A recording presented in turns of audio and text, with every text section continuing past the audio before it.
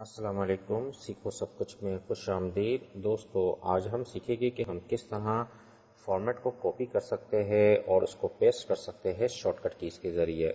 Format को copy करने के लिए हम फॉर्मेट पेंटर का बेसिकली यूज़ करते हैं और उसकी शॉर्टकट की है कंट्रोल शिफ्ट सी आप यहाँ देख रहे हैं एक वर्ड है गैलरी जो कि रेड कलर में है और बोल्ड हुआ हुआ है। अगर मुझे सिर्फ़ इस फॉर्मेट को कॉपी करना है शॉर्टकट की, शॉर्टकट की के ज़रिए तो हम मैं क्या प्रेस करूँगा? कंट्रोल शिफ्ट सी जैसे ही मैंने कंट्रोल शिफ्ट सी प्रेस किया ये फॉर्मेट सिर्फ़ कॉपी हुआ है और उसको मैं किसी भी जगह पेस्ट कर सकता हूँ। फॉर एग्ज़ाम्पल मुझे पेस्ट करना है इस हेडर की जगह तो मैंने हेडर को सिलेक्ट किया और कंट्रोल शिफ्ट वी जैसे ही प्रेस करूँगा तो आप देखेंगे कि सिर्फ़ फॉर्मेट पेस्ट हुआ है।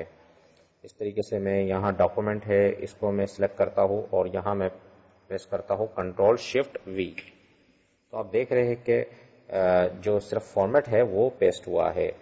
तो इसकी जो शॉर्टकट की है कंट्रोल शिफ्ट सी से फॉर्मेट कॉपी होता है और कंट्रोल शिफ्ट वी से फॉर्मेट पेस्ट होता है।